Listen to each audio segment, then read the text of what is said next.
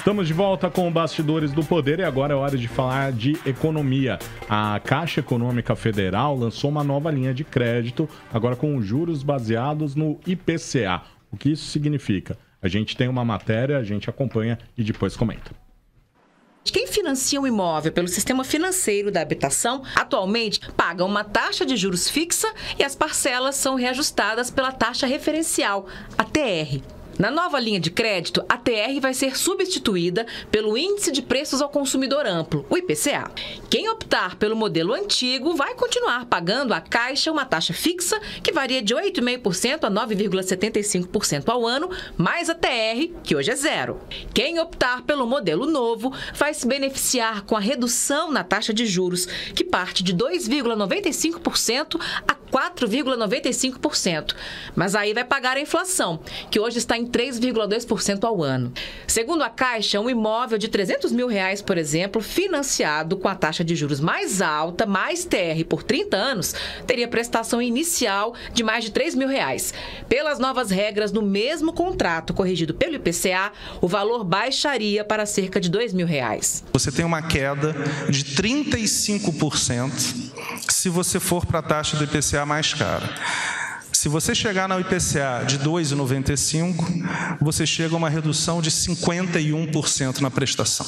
A adesão é facultativa e as mudanças entram em vigor no dia 26 de agosto. Com mais competição entre os bancos, a expectativa é forçar para baixo as taxas de juros. Para o mercado, a medida é uma forma de incentivar o setor, mas a nova modalidade também envolve riscos. Como a inflação passa a ser utilizada para reajustar o valor da dívida, o cliente fica à variação deste índice da economia. Nos últimos 15 anos, enquanto a TR variou pouco e chegou a zero, a inflação oscilou mais. Então, quem for tomar dinheiro tem que tomar cuidado, porque se você tiver uma crise inflacionária, e não necessariamente porque o Brasil tem problema, o problema pode vir de fora para dentro, há uma preocupação que as pessoas não fiquem inadimplentes.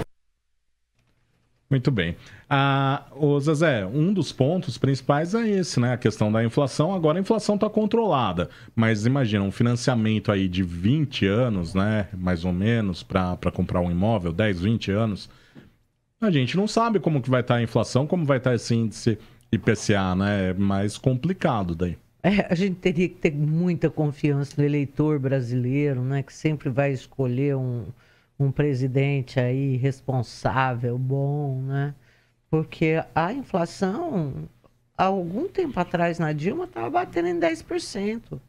Então, quer dizer, aí já seria um prejuízo razoável, né? Um, uma inflação desse daí.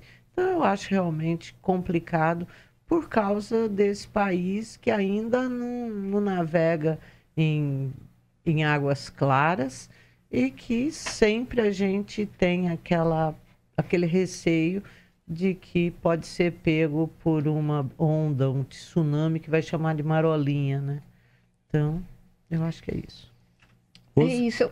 Não, é isso, eu concordo com a Zezé, eu acho que tem que tomar cuidado quem for fazer a opção, mas é, é complicado. Eu sou um pouco mais tradicional zona, eu ficaria mais no, no, no, no antigo, não mudaria.